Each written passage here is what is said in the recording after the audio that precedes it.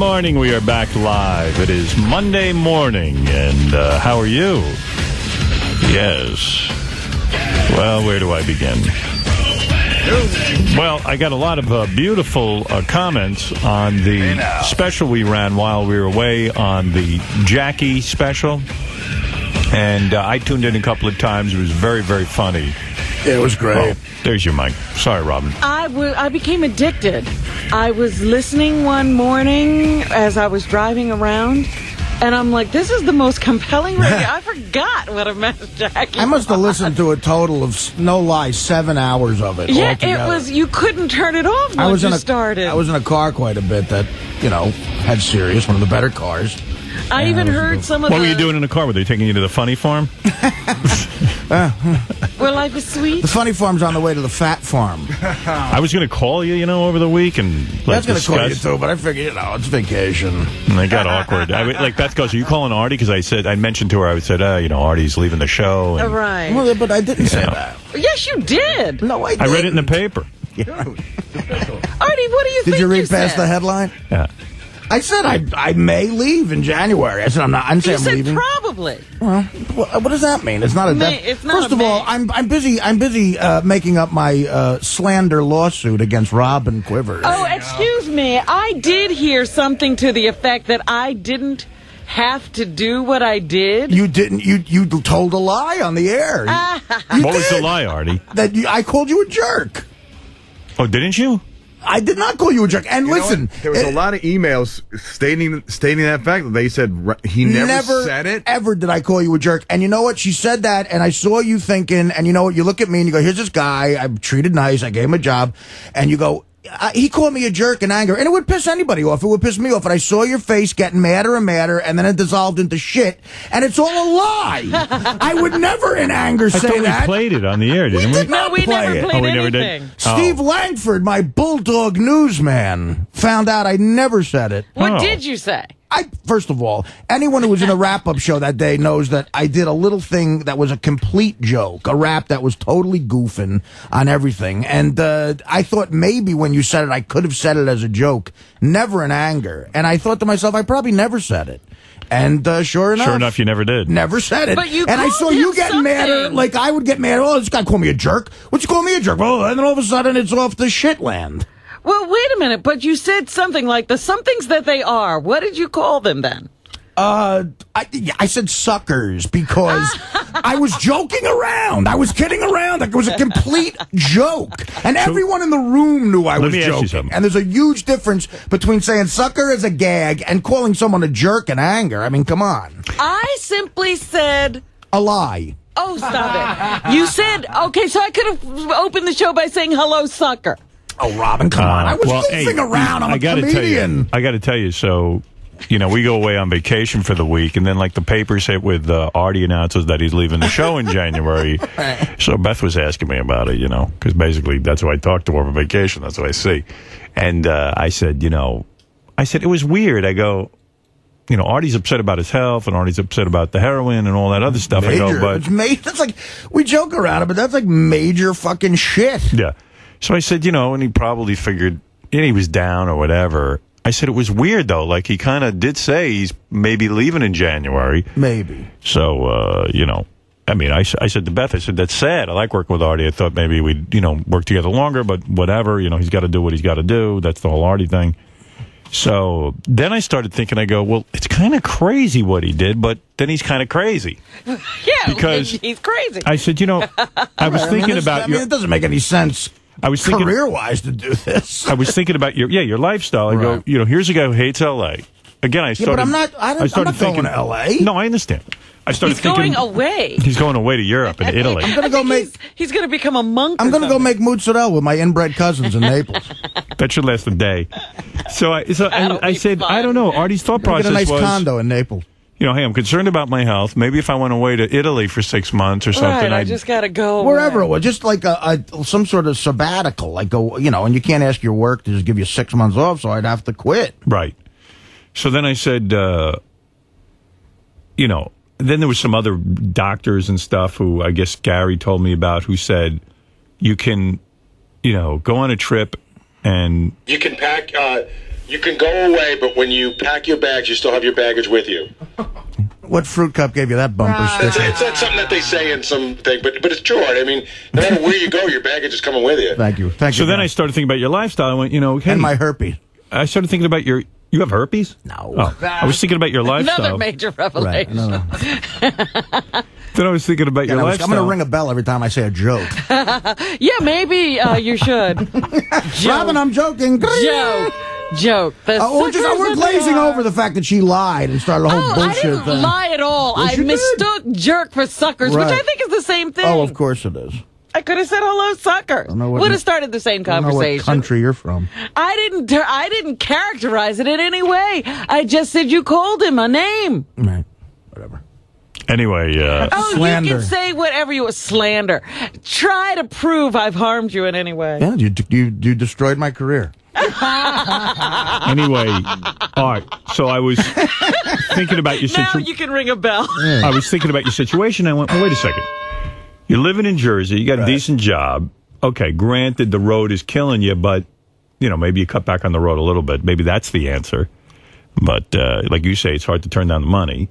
So Well, yeah, but I mean, I mean, I can control that. I just, uh, it's, I need, uh, and I did, I talked to a therapist this weekend too. Oh. And he agrees I need some sort of drastic change, but he goes, is there any way you could do it without leaving work? I mean, obviously that's the logical thing to say. Right. And I said, well, I don't know. I, in this, I thank, when I came to the show, I was the healthiest I've ever been for me as like an adult. And I'm talking about getting thin and healthy from not drugs. Like I was exercising Right. and I weighed about 190 pounds.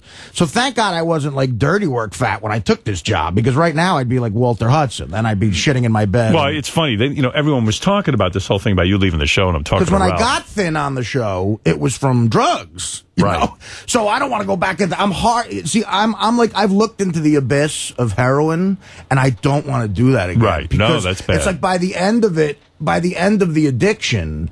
When I was still doing it, the high wasn't even good. It was just like I'm I'm using this to prevent madness. Right. And if I do that again, I mean, what what is anything in life worth? I mean, I'll just leap off a building, you know. So I'm talking to Ralph, who's like the last person Artie wants to hear from. But Oh. you know, it was like he kind of made me laugh. He goes, you know, he goes, I'm listening to Artie. He goes, Artie's like, uh, you know, I, I, got I, the schedule. It's killing me. It's killing me. He goes, he goes, Artie's single.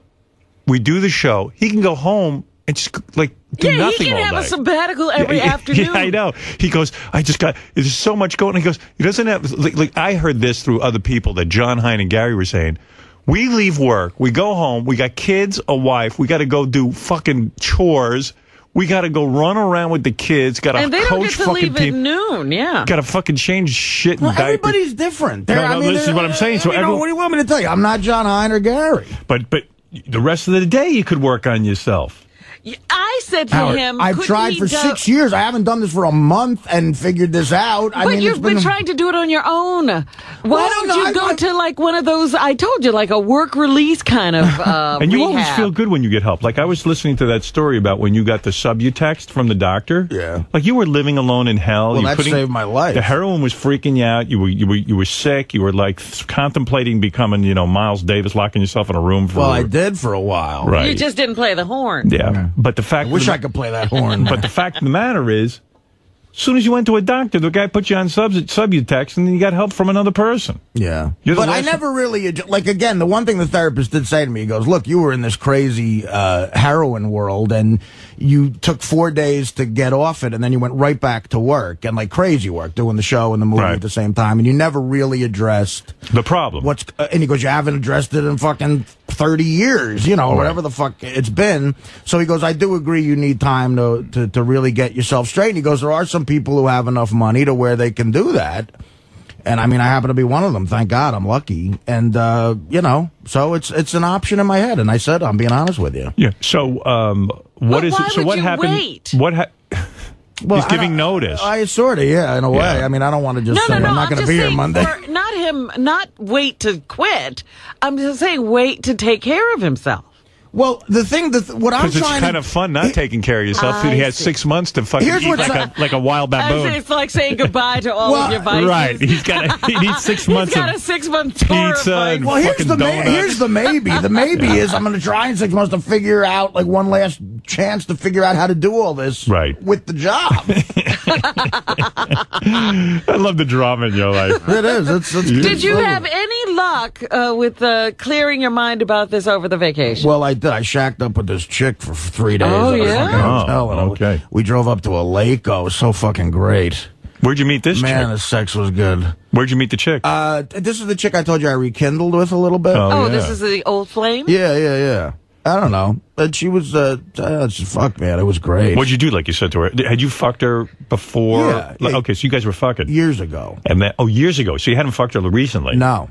And did she? Well, no, no, no. I did wa- last two weekends ago. Okay. And then you said to her, "Hey, let's. I, I'm off for the week." What happened was I my cleaning woman comes on Tuesday and she always comes at seven a.m. and How when I'm on a annoying. fucking So vacation, you I got to always clear out. So Yeah. she- Why don't you tell her that's not to come? That's the worst thing ever. Why don't you tell her not to come? Well, I do that, a lot, but Okay. I said, you know what? I don't want to break up her routine or anything. So I sometimes on a Monday night during vacation, even if I'm not away, I'll go get a hotel. and, gotta uh, hide from the cleaning woman. Yeah, that's what exact. It's exactly Right. what I'm doing. But I love hotel living. Uh, I mean, my place is basically like a hotel, you know. Right. And uh, I uh, I told this broad, I, I said, why don't you take a few days off? And she could get a few days off. And I said, uh, we'll go to some hotel in New York. We went to that Mandarin Oriental on a Columbus Circle, Oh, and I got nice. one of them corner rooms that overlooks the park. Very That's nice. a lot of cash. Yeah, it was. Believe me, fuck Jesus. High roller. Two grand a night, cash. Yeah. Uh, and uh, and then we, we stayed there for like three days. You know, just you know, Hanging Living out. the life. like Luca Brasi shacking up style. Nice. And uh, it was great, man. And then I like, uh, a matter of fact, I was playing phone tag with everybody in my life that whole time. And uh, Did you have to go to shows and stuff, or what'd you do at night? Oh God, What no. did she, you- I mean, she knew what'd to be you do none of that. anytime? We watched the Yankee game. That was what we did. Right. She likes the Yankees. From bed. No, but what do I care? Yeah. you paid two grand. Two. G's Look a at night. this room. She she went to the spa and went to the gym, and uh, that's when I tried to make some phone calls. But um, uh, you know, it was great. And then we drove up to a lake. nice. I, I haven't been to a lake. I don't think I was ever at a lake. Were you in the lake? You didn't go in the lake though. No, but uh, we How went long to were you at the lake? We were like there for like um, Two days. no, no, no. We didn't stay overnight at the lake. Oh. the Oh, you just drove to the lake. We checked out at a hotel, and then we drove to this lake and hung out. We had dinner up there. She knew this nice little place like on this lake. Like, I Where's was, this? I was looking. It was in Jersey. Oh. And uh, I'm looking at this lake and these people, these lake people, and I'm going, wow, everybody looks so calm here. I'm like, well, what about a house here or some shit? like everything I see just looks better. And I go, uh, I go, wow, it's a lake, and I'm going, I I don't, I think I've seen lakes in movies, but I don't think I've ever been at a lake. Living on a lake is fun, but the fact of the matter you know is, about lakes? yeah, I know a Oh, little because bit you went about to lake. camp and shit. No, that's not. No, A no. lake was not Do something that you was know ever about in my. living on a lake? I know, you know, I know a little about everything, and it's always warped. And never take my advice too seriously, but Right. you know, a lake can get a little boring sometimes. Like after you do oh, all the fishing and after you stare at it for a while, there ain't that much shit going down. You know what it is? It Well, looks. What's happening at these other water places? Uh, you know, like a, like like for example, like a beach you can walk on. You can uh, an ocean, you know, someone might get eaten by something. yeah, you might see some That's right, wildlife. stung by jellyfish. I don't Well, know. it ain't Miami. I'll give you that No, because I've yeah. been to Miami twice this year, and that's another eye-opening thing. Of How big a lake are we talking? uh, you know, uh, what's the name? Lake Wallkill, I think is the name of it, or some shit. you I- get a little boat, you do a Can little you see the other side? yeah, but I'm not a fishing guy. How big a lake is it? Yeah, you can see the other side. Yeah. Yeah, on some Then he- parts of it, it ain't like a Great Lake.